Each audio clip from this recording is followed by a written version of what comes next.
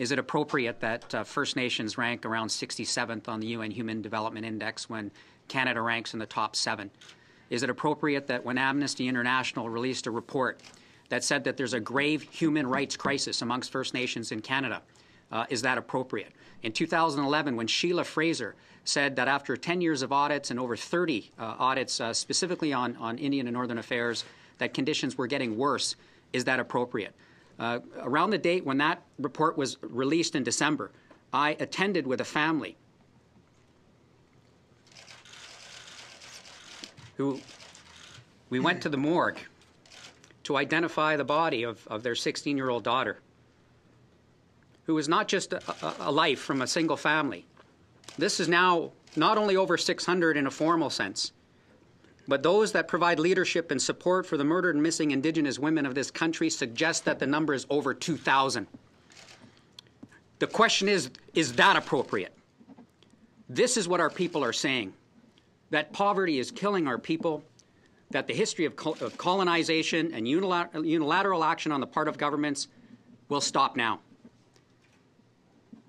The movement that is idle no more is standing up for the waters, for the rivers, they're saying that the unilateral actions that are, that are taking place under Bill C 45 and C 38 are not appropriate. We have a pattern in this country of blaming and finger pointing. We, all of us, have collected, you and I, and the Prime Minister and First Nations have inherited an Indian Act 100 years old that oversteps the treaty rights and relationship that the, that the Chief just spoke about. And we have yet to find a way to, to resolve these issues with Canada, as, as Chief uh, Jody has been talking about.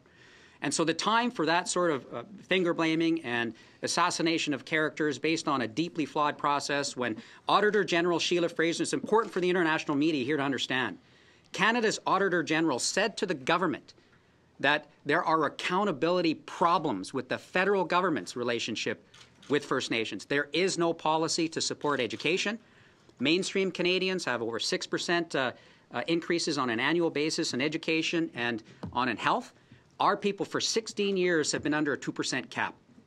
We said we would be at a tipping point with the growth of our population exploding over half under the age of 25.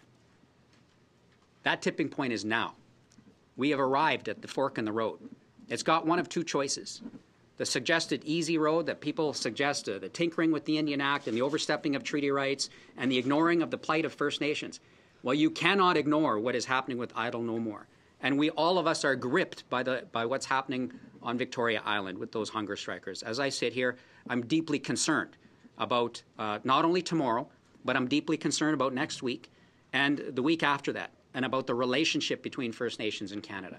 The, the road that we must take is a difficult one indeed is to accept that no longer can we only ask a single question about a single community and the state of affairs of their audit and their finances, but we've got to dig deep and say we're not going to allow this supposed complexity to stop us from transforming the lives of our people in this country, as well as bringing a sense of real reconciliation between First Nations and Canadians.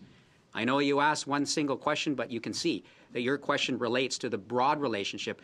That's why the call for fundamental transformation is now.